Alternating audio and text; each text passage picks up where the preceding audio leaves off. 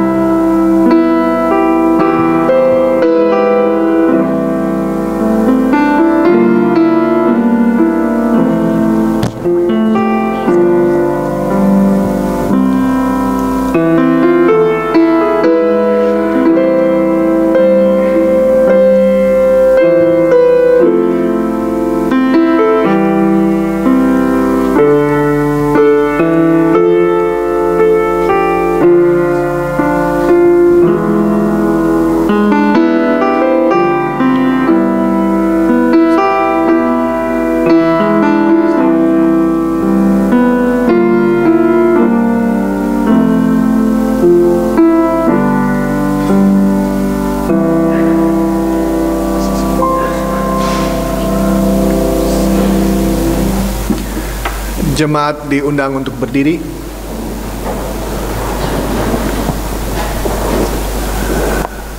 Pertolongan kita adalah dalam nama Tuhan yang menjadikan langit dan bumi, yang kasih setianya sampai selama-lamanya.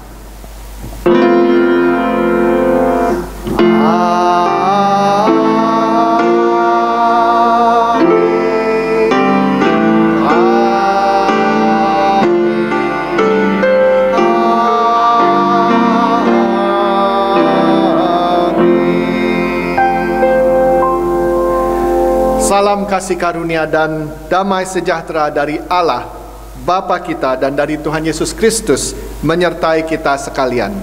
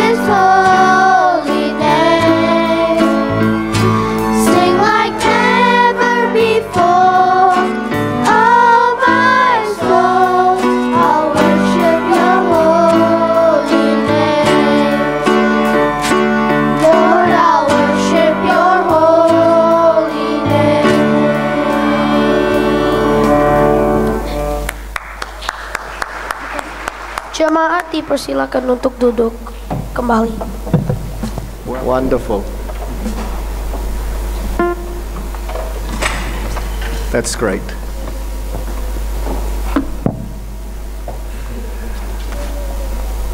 Mari kita berdoa. Bapa kami di surga, kami ingin memberi syukur Bapa. Kami ingin memberi syukur karena Engkau telah memberikan kami hal-hal yang indah. Engkau telah berikan kami kehidupan yang kami ada. Engkau telah memberkati kami dengan kesehatan. Engkau telah memberkati kami dengan materi. Engkau telah memberkati kami karena Engkau memberikan kami keluarga yang kami ada.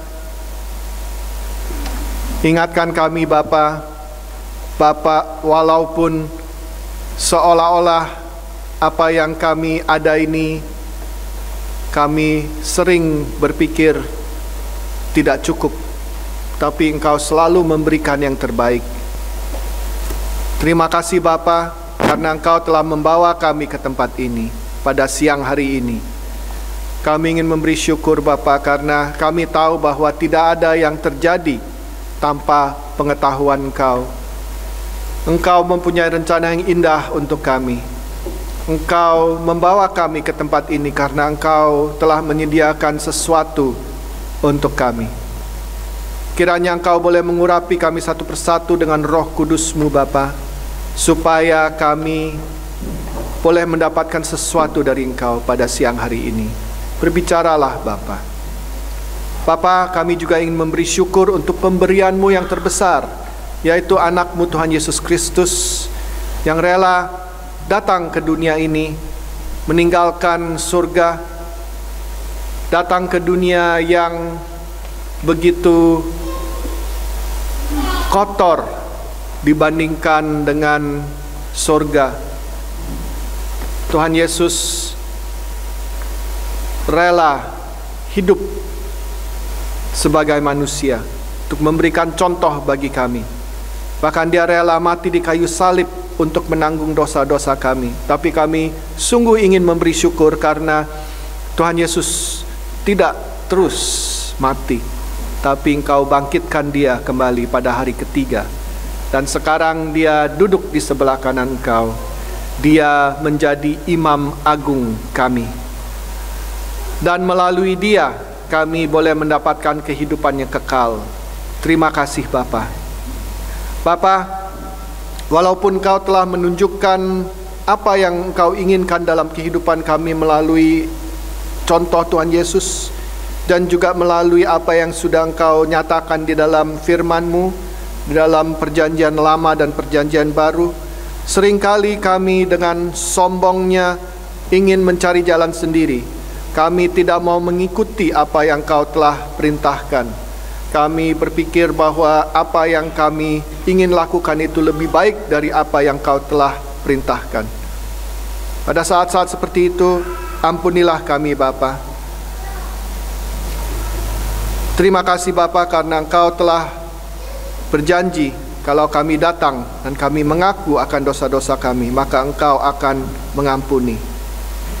Terima kasih Bapa. Kami panjatkan doa ini dalam nama anakmu, Tuhan Yesus Kristus, Juru Selamat kami. Amin. Right, now it's time for the children's talk. All right, is it on now? Okay, that's good. Now, all of you are in a family, correct? No? You're not in a family? Yes, you're in a family. We're all in a family, right? Okay, so that's good. Now, so that means some of you, some of you have got brothers or sisters, yeah? How many of you have got brothers or sisters? You got one brother. And do you and and do you get along with your brother? Do you sometimes fight with your brother? How often? so, those of you who've got brothers or sisters, how often do you fight with your brother or your sister? Yeah? A lot. A lot. Oh. very truthful. Very truthful. If I was asked in church how often I fight with my brother or my sister, I would say, eh, like this. so that's good. That's good. Now, families, families are given to us by God. So God gives us our families. Okay? And our families, our families, even though sometimes they can be a pain, yeah? They can be a pain, can't they? Sometimes they, they do things that make us really feel angry, yeah? Sometimes you sort of think, oh, why do I have this brother or sister? Okay? But God has given us the brother or the sister. Yeah? And you got to remember that your brother or your sister will be with you all of your lives. And you need to support each other. You need to help each other. Okay? Because because you know what? Even if you've got good friends, sometimes your friends will just leave you. Okay? But your brother or your sister, they will tend to stick. You know, there is a, there is a family in the, in the Bible. Um, Joseph, have you heard of Joseph? Yeah, you've heard of Joseph? So, do you think Joseph actually got along really well with, the, with, with, with uh, his brothers? No? No? Why not? Why not? Yeah? Why not? What, what, did, what did Joseph do, or what did Joseph's brothers do to him? Who would I go? They threw him in a hole. They threw him in the hole in a well, and then what did they do after that? When after they threw him in the well, in the hole, then what did they do? Sold him to other people. They sold him to other people. That's right. And so he became, here's a big word. Here's a big word. They became, he became a, a king. No, before that, yeah, he became a king afterwards, but before that, he became a, A slave. a slave. Right.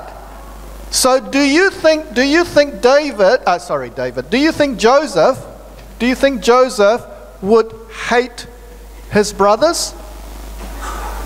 No? Why not? He did good things to them. Because he did good things to them. That's right. So you we need we need to learn from Joseph. Okay? Even though his brothers did all sorts of terrible things to him. Okay? Threw him in a hole in a well, sold him as a slave. Okay? And then later on, later on, when, they, when, when Joseph became king, what did he do? I don't know. I thought you knew. Okay, so so so Joseph Joseph forgave his brothers. Okay, when his brothers were afraid, because when when Joseph became king, and the brothers came to Joseph to find some food, they thought, "That's it, that's it. Joseph is going to get back at me." They're, they're, he's, he's going he's gonna be really mean to me, uh, to us, because we were mean to him. But Joseph wasn't like that. Joseph forgave the brothers. Okay? So, so, whenever you get into a fight with your brother or your sister, remember, we need, when your brother or your sister say, I'm sorry, okay? Don't be like me when I was little. When I was little, when my brother or my sister said, I'm sorry, I said, I don't know. Um, uh, uh, I'll, I'll wait for a week. okay? And then I'll forgive you. Okay? Don't be like that. Okay? Because your brother or your sister will be with you all of your lives and they will support you. They will help you. All right? Okay? So, let's pray before we go to Sunday school, before you go to Sunday school. Now, I have to stay here. No, you want to stay here? all right. Okay, so let's pray. Heavenly Father, we uh, thank you uh, for these children and we thank you particularly for the wonderful uh, worship leading that they did uh, this morning. We pray that you bless them and uh, we pray that as they go to Sunday school that they will learn a little bit about uh, a, a little bit more about you.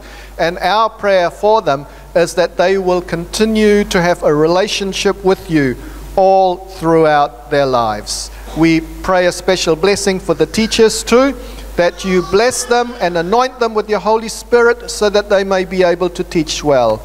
We pray all these things in the name of Jesus Christ, our Lord and Savior. Amen. Okay, so you can go to your Sunday school. Selamat siang saudara-saudara sekalian, selamat uh, datang, selamat berbakti di Sinendru. Senang ya kita pada siang hari ini bisa apa ada anak-anak Sunday School yang mimpin lagu. Uh, berarti nanti kita ada next generation ya yang bisa apa meneruskan pelayanan di tempat ini. Uh, terima kasih pada saudara-saudara yang sudah uh, menghadiri rapat jemaat minggu lalu. Uh, pada hari Kamis yang lalu uh, hasil rapat itu sudah dibawakan ke East and Central Presbytery uh, dan mereka juga sudah menyetujui pemanggilan pendeta David di tempat ini secara full time. Uh, terima kasih untuk supportnya. Kita akan tunggu uh, induction service-nya. Uh, itu akan diatur oleh presbytery. Bagi saudara-saudara yang belum pernah ikut um, Bible study online Zoom, saya anjurkan saudara-saudara boleh uh, coba ikut ambil bagian pada hari Jumat jam 7.30. Kalau perlu linknya bisa uh, kontak uh, pendeta Yohanes. Dan pada hari Rabu juga ada uh, kebaktian doa juga melalui Zoom.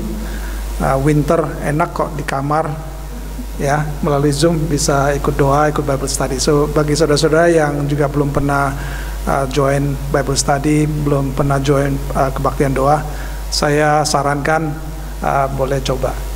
Terima kasih. Uh, itu saja uh, warta minggu ini. Uh, mari kita mengambil uh, beberapa waktu untuk memberikan saling memberikan salam sejahtera.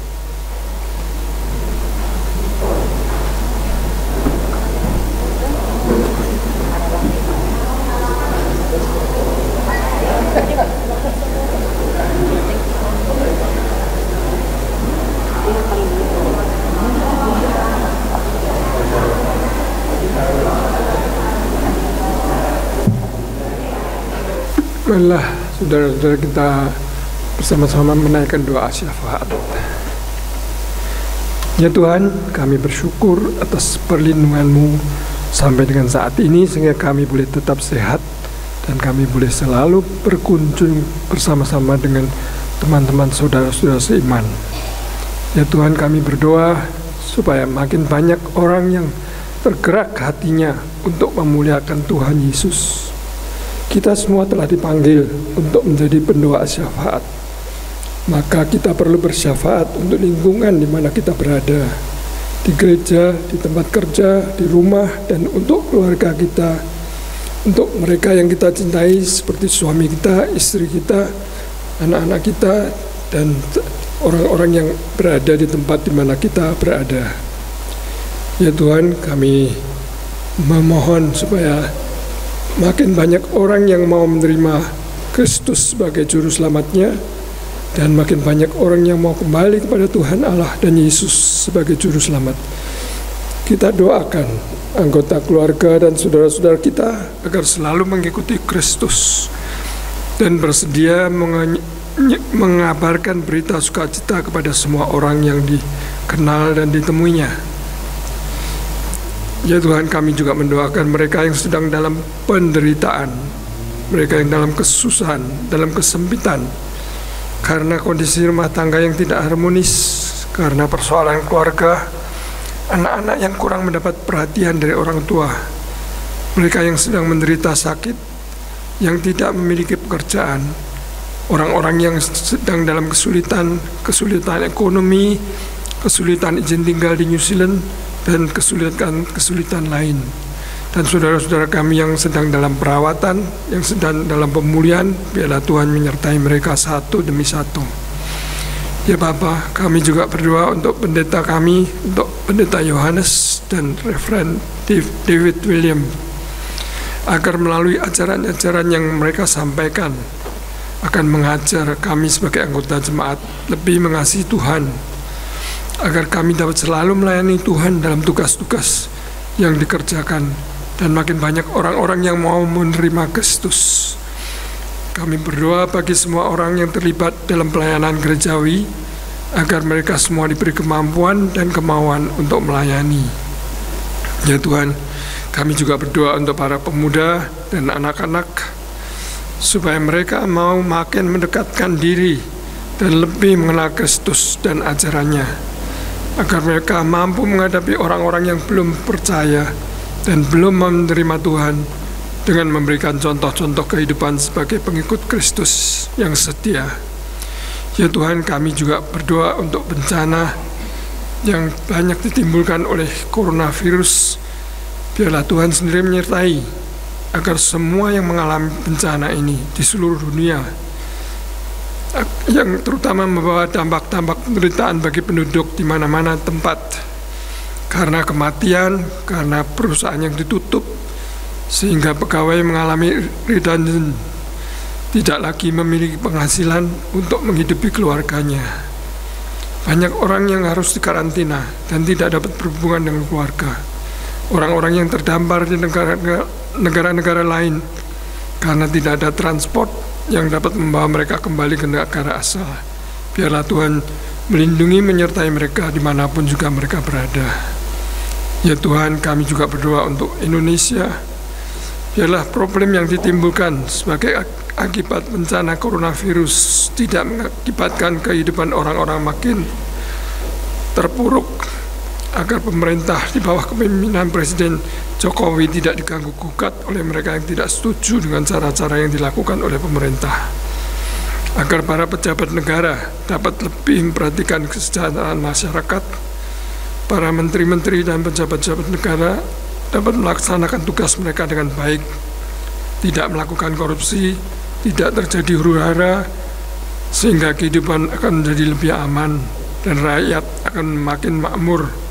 Orang-orang yang tetap menggunakan cara-cara yang salah seperti korupsi menjatuhkan dengan cara-cara yang tidak benar, tidak benar agar mereka makin mengenal Engkau sebagai juru selamat kami.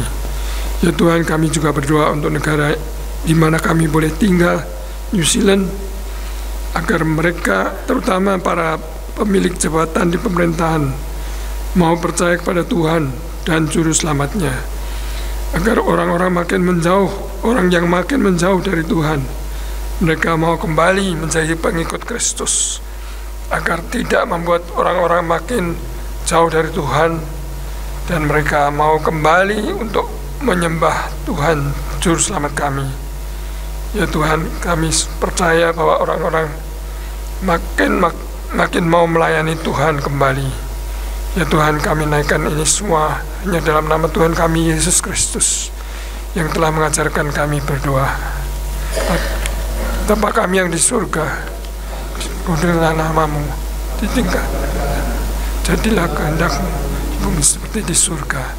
Berikanlah kami pada hari ini dan kami yang secukupnya dan ampunilah kami akan kesalahan kami seperti kami juga mengampuni orang yang bersalah pada kami dan jangan lamba kami dalam pencobaan tetapi lepaskanlah kami daripada yang jahat karena engkau lah yang punya kerajaan dan kuasa dan kemuliaan sampai selama-lamanya amin Bacaan hari ini diambil dari kitab kejadian pasal 37 ayat 1 sampai 11. Demikian firman Tuhan.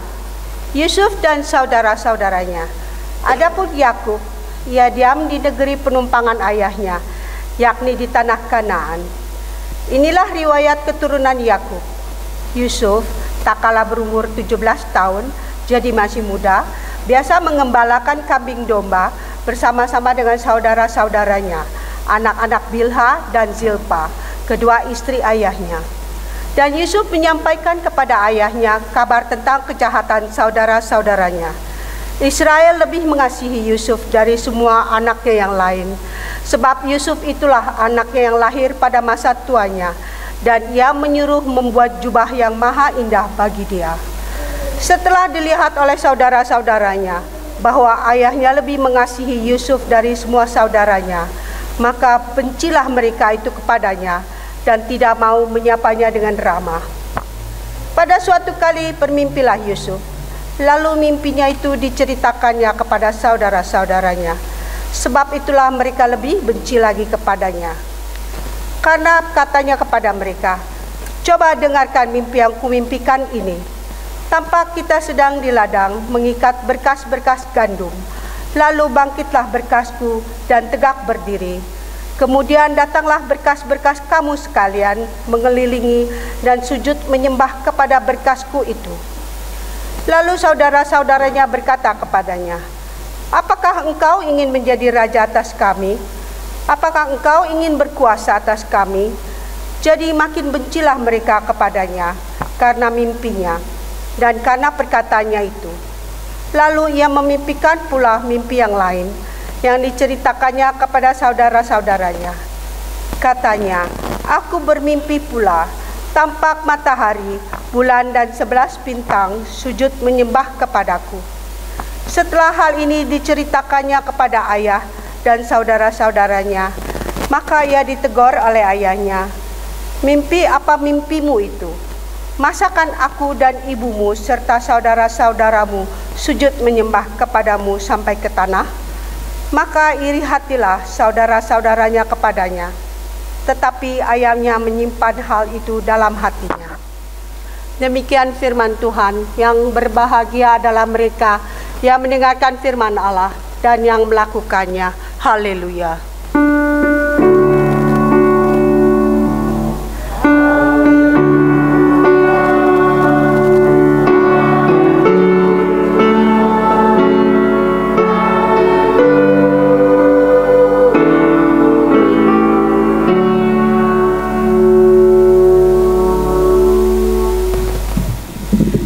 Dikasih Kristus, sambil kita um, menyiapkan hati kita untuk mendengarkan firman Tuhan, kita mau menenangkan hati kita, kita mau menyanyikan lagu Suaramu Ku Dengar yang akan kita medley dengan refrainnya saja dari uh, KJ 362 Aku Milikmu. Uh, lagu ini akan dinyanyikan dengan tempo yang tidak cepat, jangan ngantuk, tapi yang saya minta tolong supaya kita memperhatikan liriknya uh, dan mengikuti setiap kata-katanya sehingga kita bisa merasakan um, kita juga bisa merasakan bahwa Tuhan memanggil kita.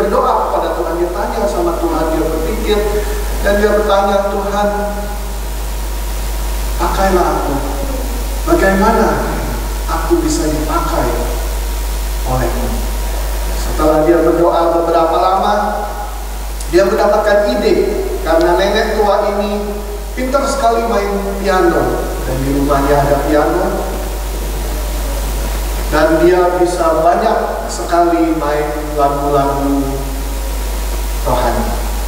Jadi dia menempatkan advertensi di dalam di satu surat kabar orang dan dia mengatakan gratis. Biasanya kalau gratis semua orang lihat ya. Kalau dia bayar. Wah nggak dilihat gratis. Ya, besar terus di sana dikatakan pianis akan memainkan lagu rohani untuk orang-orang yang sakit dan yang berputus asa silakan telepon nomor dicantumkan nomor teleponnya.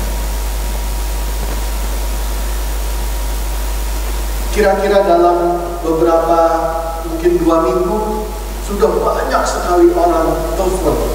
Setiap kali dia telepon orang telepon, dia tanya mau lagu apa. Orang yang bilang ya saya mau lagu ini. Eh lama nggak lama bukan cuma orang minta lagu, tapi orang yang minta lagu itu juga menceritakan kepada nenek ini keluhan dia, apa yang mereka rasakan, apa yang mereka apa jalankan dalam kehidupan mereka. Jadi dengan cara ini, nenek tua ini yang sudah tidak bisa keluar dari rumah, sudah nggak bisa uh, melayani dalam uh, cara yang yang tradisional, tapi karena dia ingin dipakai oleh Tuhan, dia menjadi sangat menjadi berkat yang yang sangat besar untuk orang-orang yang memerlukan. Saudara-saudara, pada hari ini kita memulaikan satu seri khotbah lagi yang baru. Seri khotbah ini mengikuti kehidupan atau jalan kehidupan uh, Yusuf. Kita mengikuti dari kitab Kejadian 37 sampai dengan 50. Nah saya yakin saudara-saudara bahwa kita di sini semuanya banyak sekali yang sudah mendengar cerita tentang Yusuf. Bahkan kalau yang sudah pergi ke sekolah minggu pasti karena itu cerita Yusuf itu udah salah satu yang yang terpopuler ya untuk anak-anak. Dan kalau kita pikir-pikir, kalau kita ingat-ingat ya, Nanti kita yang sudah pergi sekolah minggu atau yang sudah sering di, di gereja ya, kita dengerin, kita ingat-ingat cerita-cerita atau ajaran-ajaran tentang Yusuf, pasti kebanyakan semuanya mengajarkan tentang kebaikan atau kehebatan Yusuf. Sedikit sekali ajaran yang menyatakan bahwa Yusuf ini sebenarnya nggak sempurna. Yang kita dengar oh Yusuf itu baik seperti tadi saya saya aja tadi waktu children's talk saya bilang tentang Yusuf itu mengampuni ya. Itu kan sikap yang baik gitu ya. tapi ternyata Yusuf ini juga banyak kekurangannya saudara-saudara. Mestinya kita nggak kaget ya. Karena apa? Karena siapa di sini yang sempurna? Nggak ada kan ya. Yusuf pun juga tidak sempurna Nah, bagaimana mungkin ada yang mengatakan, ah mana sih dari dari teks kita hari ini yang sebelah ayat ini, kayaknya enggak ada kata-kata yang menyatakan bahwa Yusuf ini jelek, atau Yusuf ini jahat, atau Yusuf ini melakukan hal yang tidak baik. Nah, mari kita pelajari bersama-sama. Saudara-saudara di dalam ayat 2 di sana di, di, dicatat dan Yusuf menyampaikan kepada ayahnya kabar tentang kejahatan saudara-saudaranya. Kalau kita baca teks ini, pasti kita ada pikiran, ya wajar lah, ya kan? Yusuf melihat saudara-saudaranya melakukan hal-hal yang jahat, jadi lapor itu bagus dong, ya kan? Kalau orang berbuat jahat, kita laporin supaya apa? Supaya dia bisa uh, jadi jadi jadi benar. Itu kan sikap yang positif. Tapi saudara-saudara, tunggu dulu. Tunggu dulu.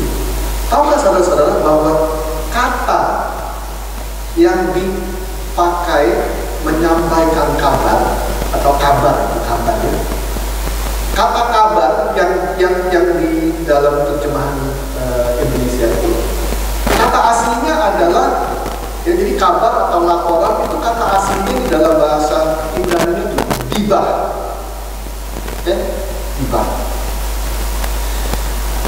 Tahu saudara-saudara bahwa kata dibah ini di dalam perjanjian lama selalu dipakai dengan dipakai dalam situasi yang negatif. Tidak pernah satu kali pun kata dibah ini dipakai untuk situasi yang positif. Ya, jadi kata dibah ini sebenarnya lebih dipakai untuk laporan atau kabar yang tidak benar. Ya, yang tidak benar.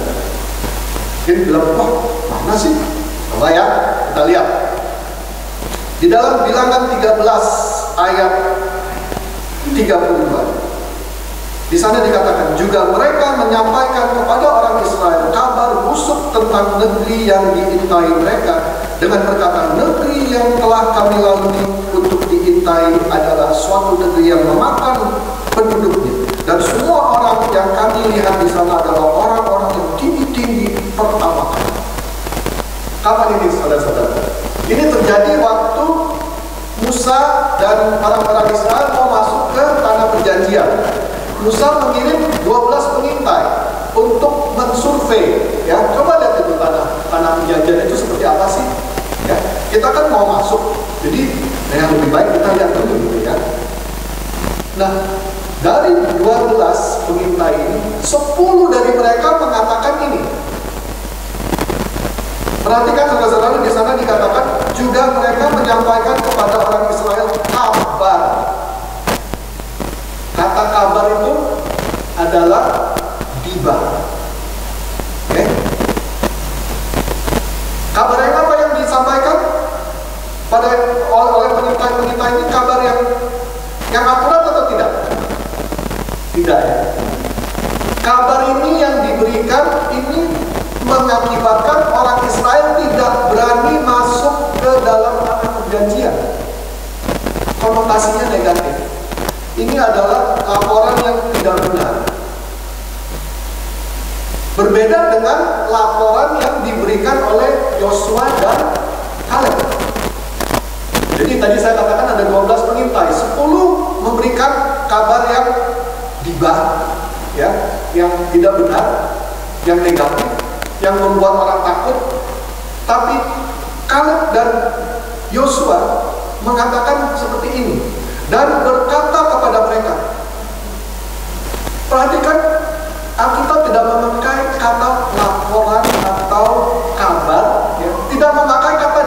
diba karena ini adalah ini adalah laporan yang benar.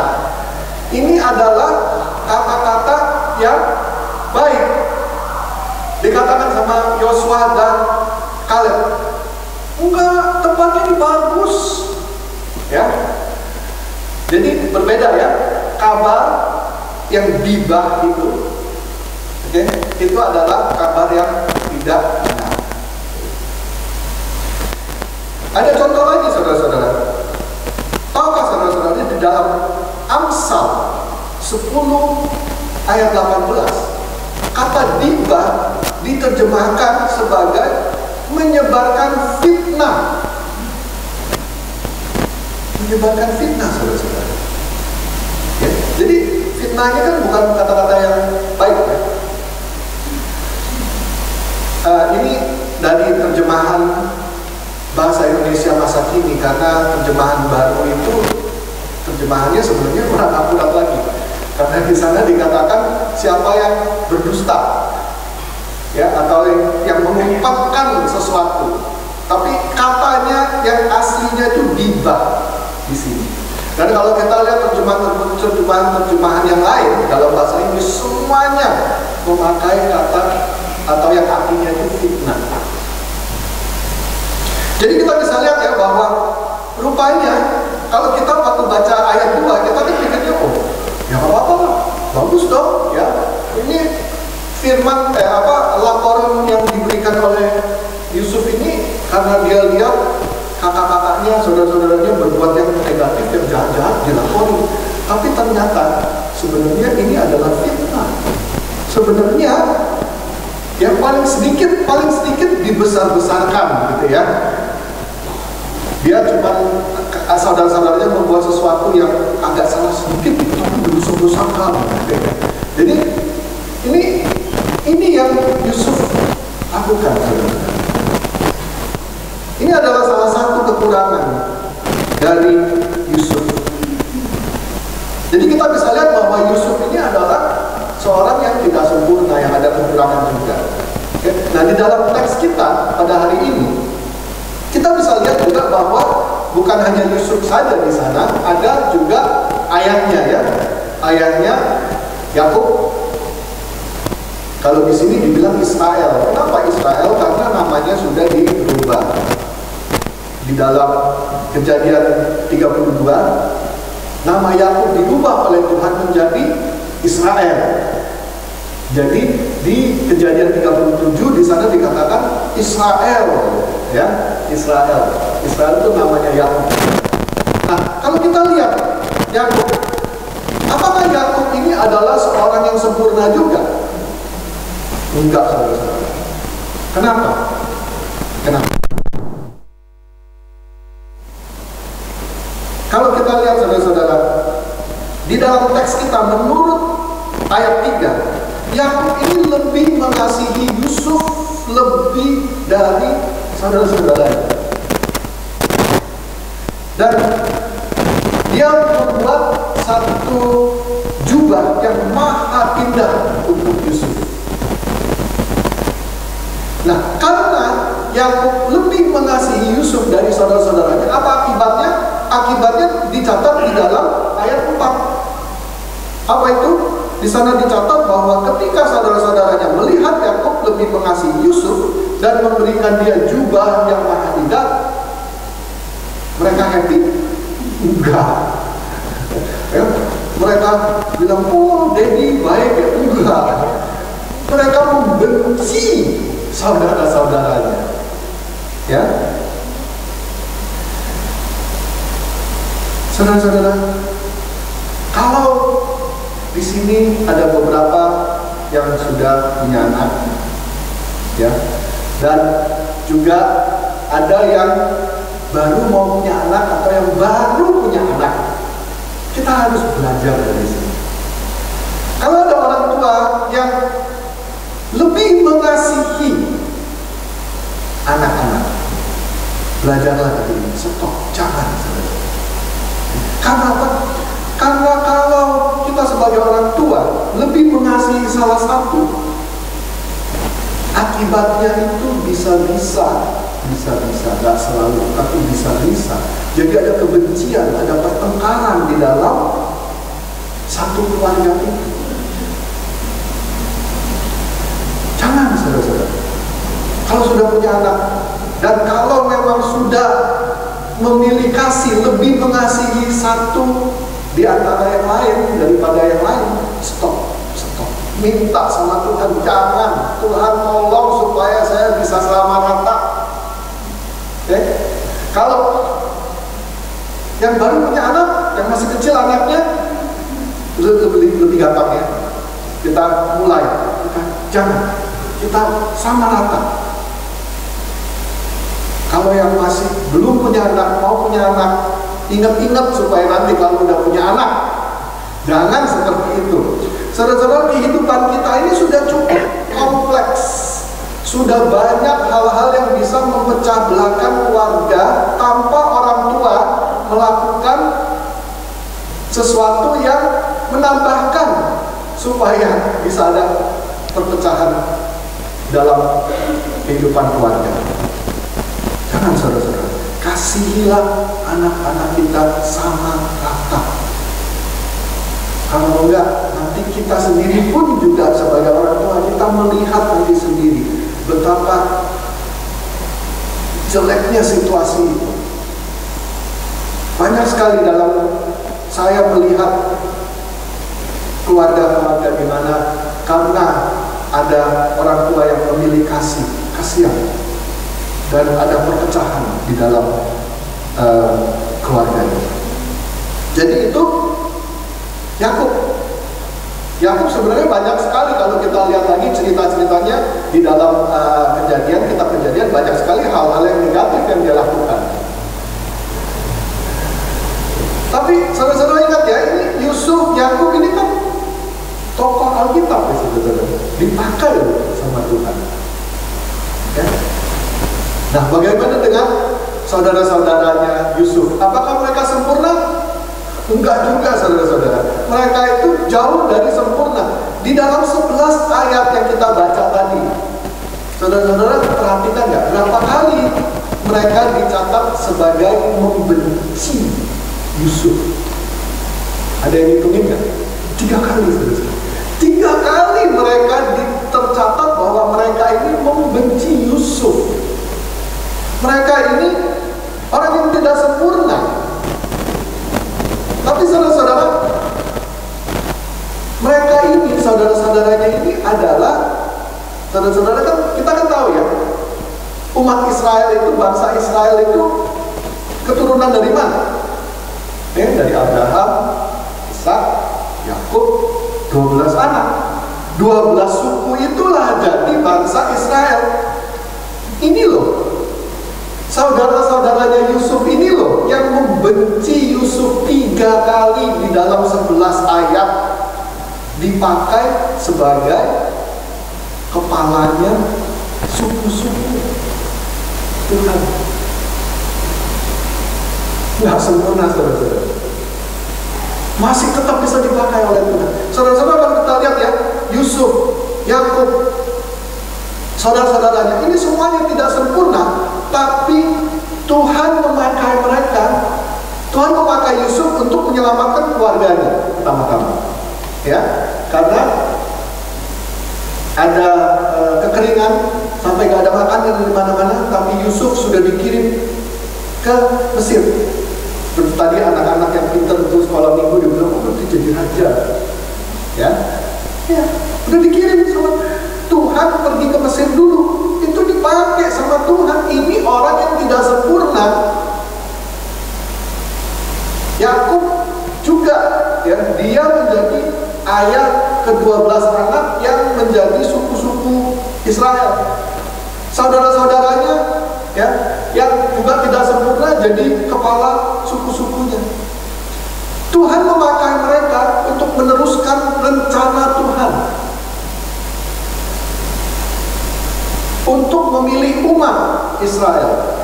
Supaya apa? Supaya nama Tuhan bisa dimuliakan. Supaya orang-orang yang tidak mengenal Tuhan bisa melihat umat Israel dan bisa mengatakan, oh ini loh caranya Tuhan ini mengasihi umat ini seperti ini. Tapi lebih dari itu saudara-saudara. Tuhan Yesus juru selamat dunia itu lahir dari keturunan siapa? Dari keturunan itu Abraham dan turun semuanya. Orang-orang yang tidak sempurna dipakai oleh Tuhan. Saudara-saudara sering kali dalam kehidupan kita kita ini mempunyai perasaan masa sih saya bisa dipakai sama Tuhan? Saya ini nggak sempurna. Saya ini banyak kekurangan. Saya ini nggak bisa. Saya ini masa sih Tuhan mau lihat teks kita hari ini. Lihat bahwa tidak ada yang sempurna. Di sini ada nggak yang sempurna? Kalau saya, saya ngaku saya nggak sempurna. Saya banyak sekali nggak sempurna. Kalau nggak percaya, nanti abis ini tanya sama Desi. saya kekurangannya apa? Banyaknya bukan banyak.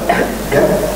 Tapi pertanyaannya bukan saya ini sempurna atau enggak. Bukan itu saudara. Pertanyaannya adalah mau nggak dipakai Tuhan?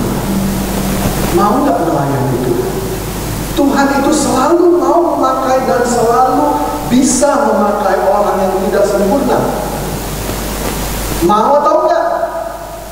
Itu pertanyaannya saudara-saudara. Di dalam ladang Tuhan banyak sekali pekerjaan di dalam gereja dan di luar gereja. Bukan hanya di dalam gereja aja, di dalam gereja bisa kalau mau melayani. Di luar gereja pun juga bisa. Di dalam tempat pekerjaan bisa. Saudara-saudara sudah menjadi terang bagi kolega-kolega saudara tempat kerja. Saudara-saudara mengasihi atau enggak teman-teman atau teman kerja Nggak usah di gereja, saudara-saudara. Di luar gereja pun bisa. Jadi dalam minggu ini, saudara-saudara, cobalah. Cobalah setiap hari bangun. Tanya kepada Tuhan.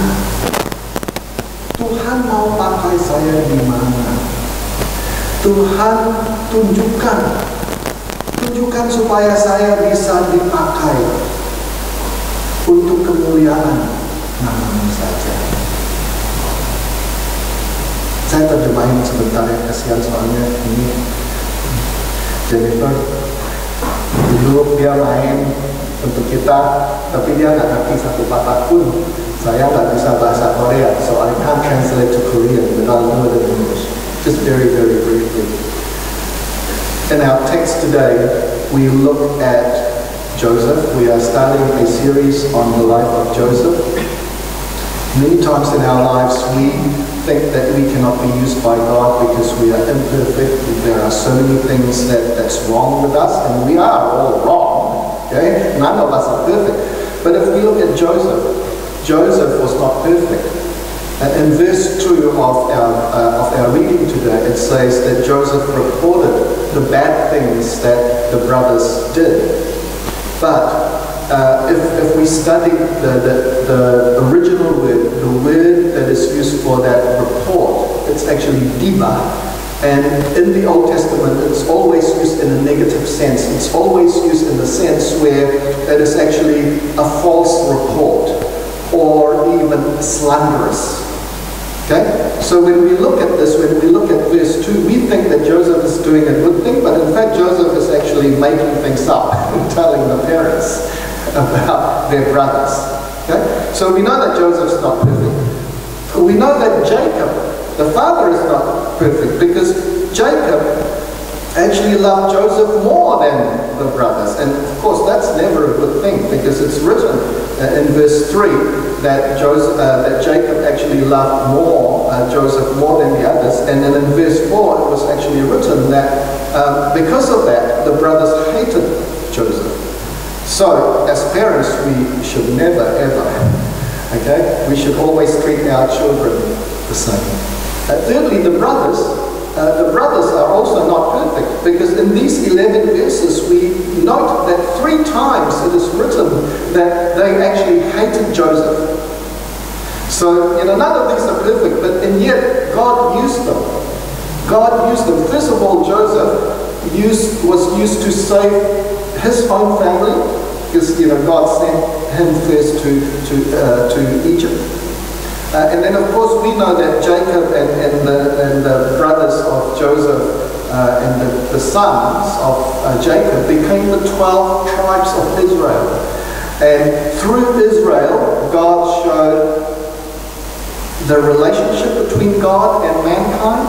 And of course, finally, our Savior of the world was born through the line of Abraham. So, see, God can use imperfect people. So it's not a question of whether God will or God won't. It's a question of are we willing?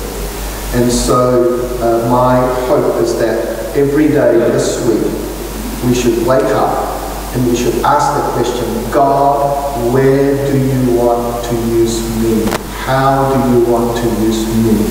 Make me be willing to be used. Not only in church, it can be outside of church as well, everywhere, wherever we go. Okay? So um, that's a very short uh, uh, summary of the sermon today. Let us pray. Mari kita berdoa.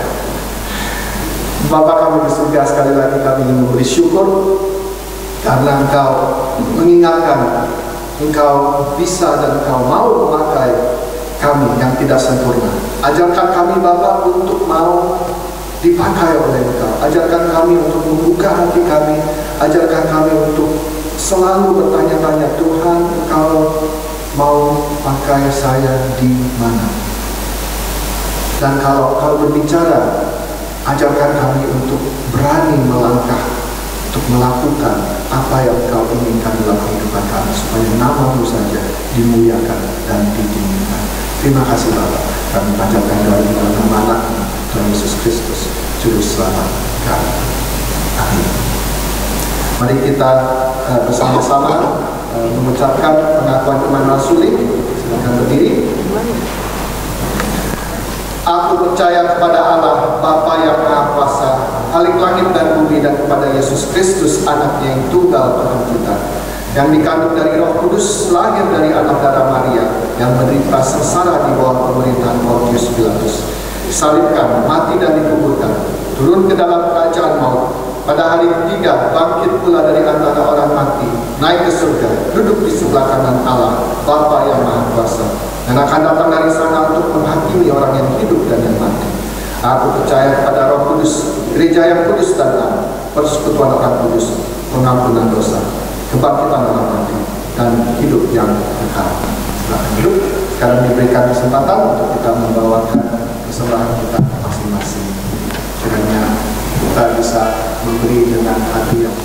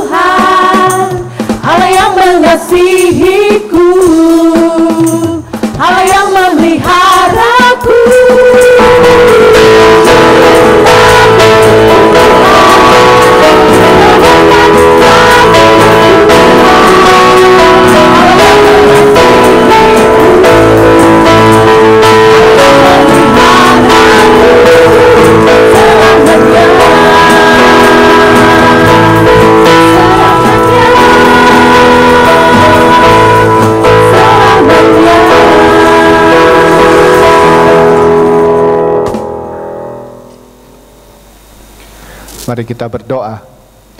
Bapa kami di surga, kami bawa persembahan kami, kiranya Engkau mau menerimanya.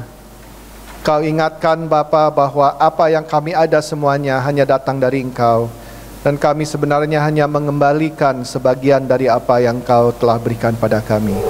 Terimalah apa yang kami bawa pada siang hari ini dan juga yang sudah dimasukkan ke dalam bank account secara otomatis. Kuduskan dan pakailah untuk kebesaran dan kemuliaan namamu saja. Kami panjatkan doa ini dalam nama anakmu, Tuhan Yesus Kristus, Juru Selamat kami. Amin.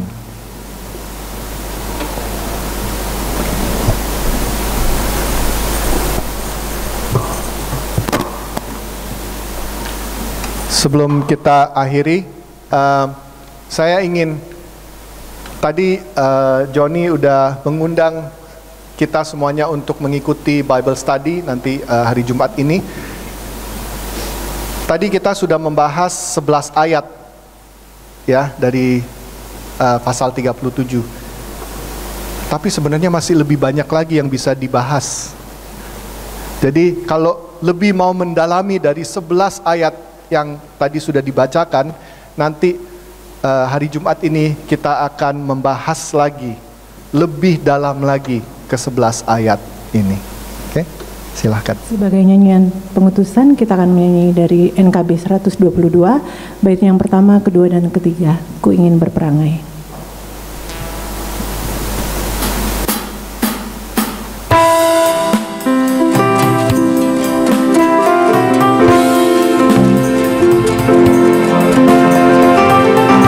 Tuhan tahu kita tidak sempurna, tapi kita mau menjadi sempurna dan kita mau berperangai laksana seperti Tuhan Yesus Kristus.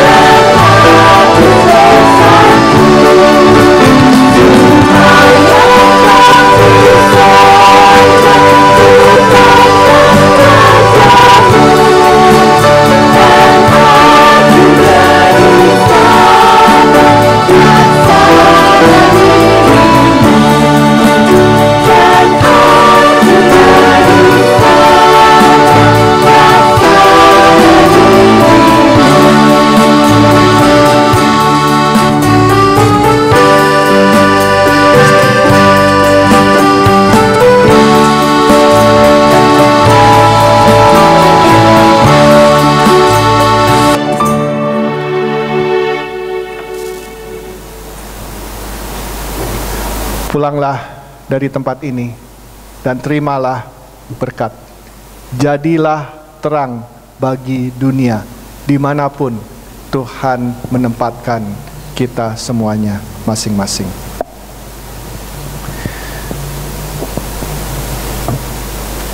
Semoga Allah sumber sejahtera melengkapi kalian dengan segala yang baik yang kalian perlukan untuk melakukan kehendaknya. Semoga dengan perantaran Yesus Kristus Allah mengerjakan di dalam kita apa yang diinginkannya. Hendaklah Kristus dipuji selama-lamanya. Tuhan.